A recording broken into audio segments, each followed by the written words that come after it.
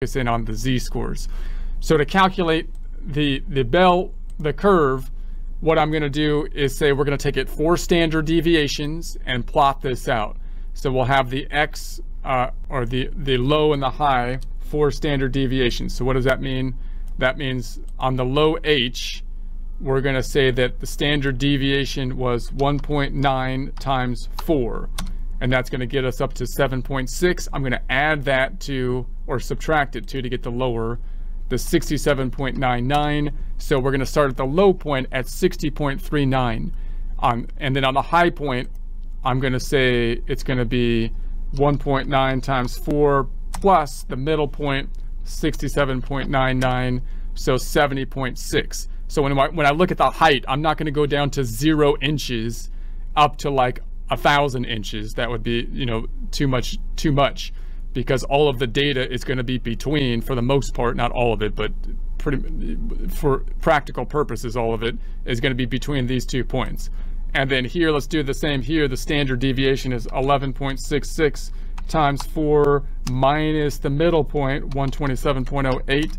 That gives us the low point, which is negative, uh, and you're not going to have uh, negative weights but we might start, uh, well, no, it's not negative. It's eight, it's not negative. It's going to be the 80 is the low. And then the high point, we're going to say it's negative the way I calculated it, but it's not negative because it's going to be that minus the standard deviation times four. Okay. So then let's do it the other 11.66 times four and then plus the 127.08 and that's going to give us the 173 on the upper point for the weight in pounds. All right, so if we plot out the bell curve, which we focus on in a, in a different section, but uh, we'll plot that out here. So we'll do it. You've got the, each data point, and then the, the bell curve is going to be the norm dot dist function, where we take the x, which is this, comma, the standard deviation for the height is that, and then the uh, is it going to be cumulative or not? It's not going to be cumulative for this calculation, and that'll give us for each height that we picked from from 60. I started at 60, the low point, up to 76. I went to up to 76.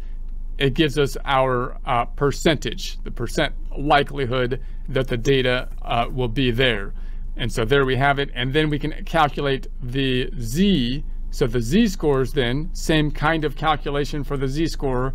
I'm going to take uh, each point, in this case, the 60, 60 minus the middle point, which is going to be the 60.39, divided by the standard, uh, D, uh, sorry, that's not the middle. Hold, let me do that again.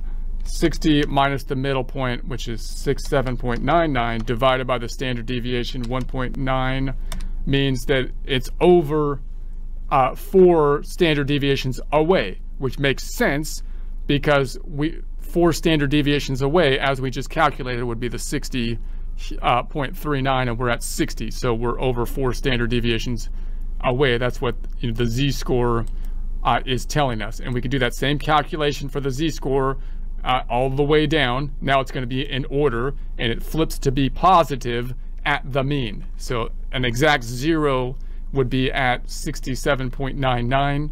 So we don't have 0.99 here, but it's close to zero right there, right?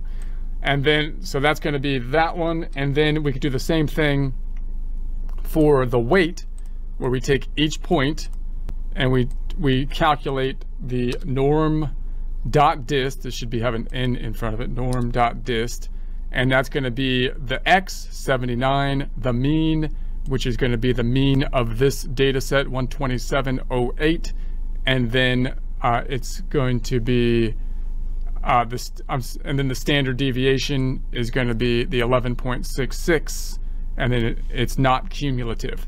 And then we can calculate the z-scores in the same fashion, do that all the way down.